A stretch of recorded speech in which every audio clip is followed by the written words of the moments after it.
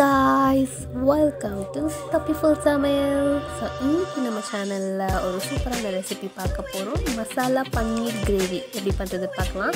So நான் இதுக்கு வந்துட்டு டூ ஃபிஃப்டி கிராம்ஸ் பன்னீர் எடுத்துருக்கேன். அதை வந்துட்டு இந்த மாதிரி குட்டி குட்டியாக க்யூப்ஸாக நம்ம கட் பண்ணி வச்சுக்கலாம். நான் வந்துட்டு ரொம்ப பெரிய க்யூபாலாம் கட் பண்ணல. குட்டி குட்டியாக தான் நான் கட் பண்ணியிருக்கேன்.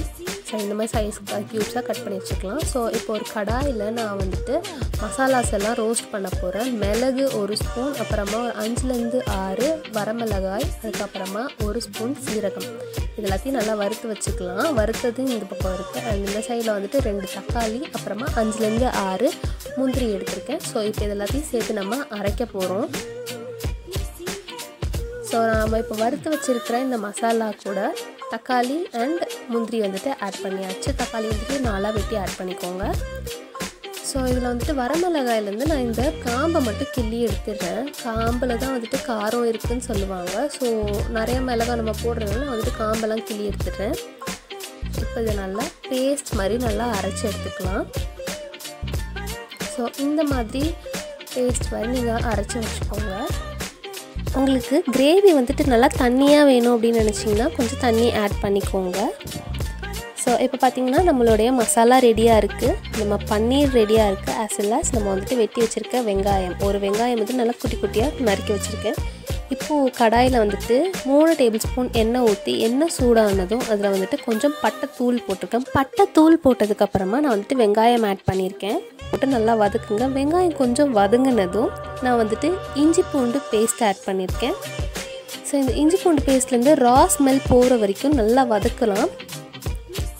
இது இப்போ வதங்கிடுச்சு. நம்ம இப்போ பன்னீர் ஆட் பண்ணிக்கலாம். நீங்கள் வந்துட்டு பன்னீருக்கு பதிலாக சிக்கன் இல்லைனா வேறு ஏதாவது மஷ்ரூம் இல்லை காலிஃப்ளவர் கூட ஆட் பண்ணிக்கலாம். ஸோ பன்னீர் போட்டதுக்கப்புறமா ரொம்ப கிண்டுனீங்க அப்படின்னா பன்னீர் வந்துட்டு பிரேக் ஆகிடும் எப்பயுமே வந்துட்டு மசாலா ஆட் பண்ணிட்டு தான் பன்னீர் ஆட் பண்ணுவாங்க. பட் நான் பன்னீரை வந்துட்டு முதல்ல ஆட் பண்ணிடுறேன். ஏன்னா நான் பன்னீர் வந்துட்டு ஃப்ரை பண்ணலை. ஸோ இப்போ வந்துட்டு நான் இது கூட நம்ம அரைச்சி வச்சுருக்கிற மசாலாவும் ஆட் பண்ணிக்கிறேன். அப்போ தான் வந்துட்டு மசாலா பன்னீருக்குள்ளே இறங்கும். அந்த அந்த ஃப்ளேவர் உள்ளே இருக்கும். ஸோ அதனால் மசாலா ஆட் பண்ணிவிட்டு மெல்லமாக ரொம்ப மெல்லமாக அதை வந்துட்டு கிண்டி விடுங்க. நம்ம ரொம்ப வேகமாக கிண்டணும் அப்படின்னா பன்னீர் வந்துட்டு பிரேக் ஆகிடும் ஸோ இப்போ வந்துட்டு ஒரு டென் டு ஃபிஃப்டீன் மினிட்ஸ்லேயே இது வந்து நல்லா வெந்துடுச்சு. வெந்ததும் பார்த்திங்கன்னா சைடில் எண்ணெய் எண்ணெய் வந்துட்டு திரிஞ்சு தனியாக வரும். ஸோ அதுதான் வந்துட்டு வெந்திருக்கு மசாலா இதெல்லாம் வெந்திருக்கு அப்படின்ற பதம். ஸோ இந்த ஸ்டேஜில் நான் வந்துட்டு தேவையான அளவு உப்பு ஆட் பண்ணிக்கிறேன். இப்போது பன்னீரும் சரி நம்மளோட மசாலாவும் நல்லா வெந்துடுச்சு. நம்ம பிளேட்டுக்கு ட்ரான்ஸ்ஃபர் பண்ணிடலாம். So yummy paneer masala ready ஆகிடுச்சு ஸோ நீங்களும் இதை உங்கள் வீட்டில் ட்ரை பண்ணி பாருங்கள் கண்டிப்பாக உங்கள் எல்லாருக்கும் ரொம்ப பிடிக்கும்.